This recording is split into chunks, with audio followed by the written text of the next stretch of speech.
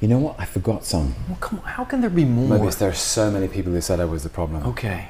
Nick Fury, Erik Selvig, Bor, Laufey, Amora.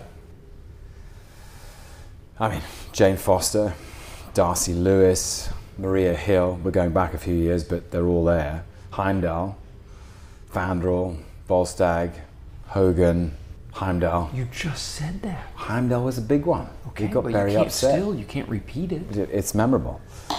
Absorbing Man. What about Donald Blake? I say him?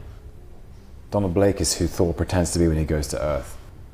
Speaking of which, Hercules, another big guy, I was a big problem for him.